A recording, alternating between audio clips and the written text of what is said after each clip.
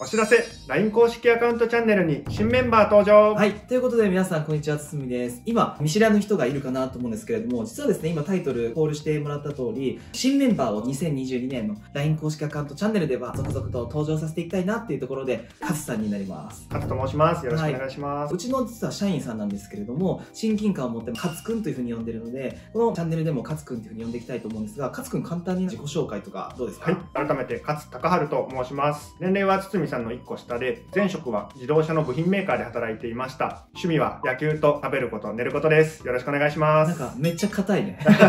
硬いですか、うん、このチャンネルで今後多分勝くんって結構続々と登場してくると思うんですけど、そもそもなんでチャンネルに出てもらうようになったかっていう経緯をお話しすると、実は去年の秋口ぐらいに大学時代の学生団体の同窓会っていうのがあって、たまたま同じ学生団体に所属していたんですけれども、その時に同窓会で、もう勝くん今どういう仕事してるの？って言ったらね、こうこうこういう仕事してますって言って、じゃあそれだったら YOU うちに来ちゃえよって言って、今年の1月から入ってくれてるっていうところになるんですね。そんな経緯がありますと。勝くんの人となりなんかも今日このチャンネルでぜひ披露してほしいなとは思うんですけども、勝くんって自分で思うにどういう人ですか？豆ってよく言われますね。豆豆しいみたいな。豆エピソード？あります豆エピソード。先ほど、堤さんから紹介があったように、同じ卒業生団体をやっていたんですけれども、そこでこれから渡航に行く人に向けてのこうサポートなどを行っていたんですね。でその中でいろいろ学生さんが来てくれるんですけど、例えば誰がどこにいつから何週間行くのかみたいな情報全部持ってました。そうね。大学時代の話だから今からもう多分7年とか8年ぐらい前の話なんですけど、ね、当時2人とも留学をしてたんですね。で、その留学から帰ってきて、これから行かれる高校生とか大学生の方に、留学の支援をするというか、サポートをする先輩の立場として、こういう荷物持ってったらいいよとかっていうのをサポートする立場にいて、で、そこで話は長くなっちゃうんですけれども、あえて簡潔にまとめると、英会話レッスンっていうのをやっていて、じゃあ現地ではこういう英語を使うから、こういう表現を覚えていった方がいいよみたいな、そんな英会話レッスンをやっていて、その時に今の勝くんの豆豆エピソードなんですけど、勝くん、あそこにいる女性っていつ頃何週間ぐらいどの国に行くんだっけって聞くと、絶対覚えてるっていうね、